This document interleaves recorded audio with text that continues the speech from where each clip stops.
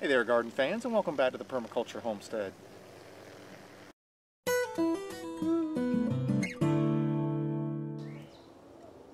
What is going on garden fans? Welcome back. I want to start by thanking Jonathan over at the How to Be Self-Sufficient channel for helping out with the intro today, taking part in that homestead meme giveaway. Um, go check out his channel. He's just finished a medicinal herbal course and has some videos on that, which is perfect because today I'm to walk around the food forest, show you what herbs I'm growing right now, and then I'm to step inside and show you all the herbs that we've got stored and tell you how we use those herbs on a medicinal maintenance program. This is all part of a collaboration put on by Heidi over at Rain County Homestead. Um, check out the links to everybody involved in that down in the description.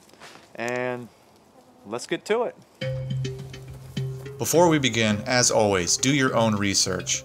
Know the indications and contraindications for any herb you plan to ingest. That simply means know what an herb is used for, and then know when not to take an herb.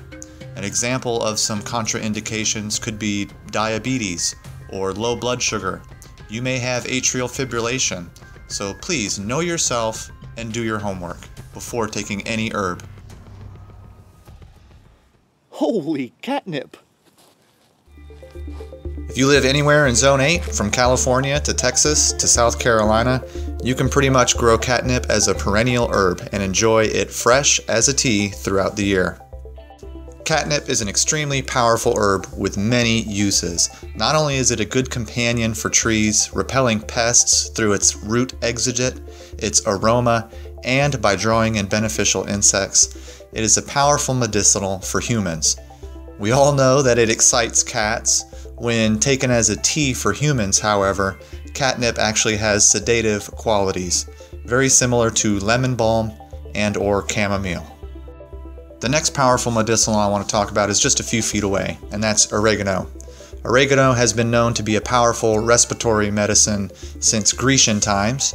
It has thymol in it, which is used to repress a cough, hold back a cough, fight bacterial infections in the lungs, and it's good for sore throat and any kind of respiratory problem you can think of.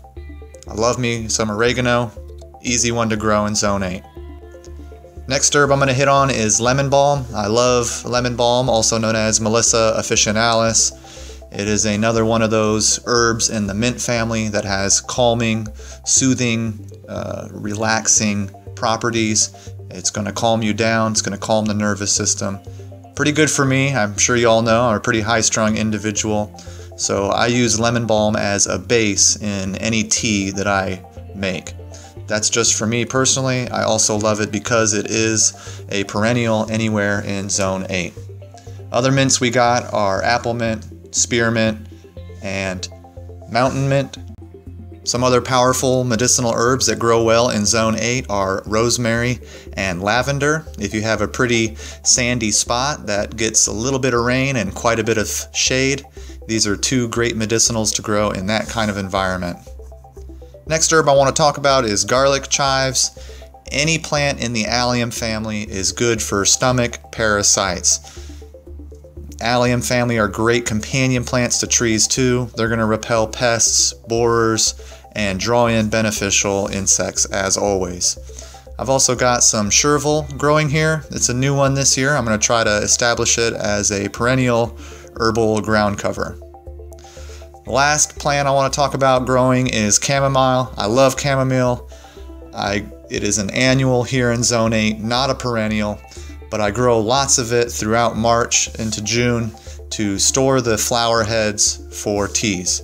Speaking of teas, let's go inside real quick. I'll show you what we got going on here inside.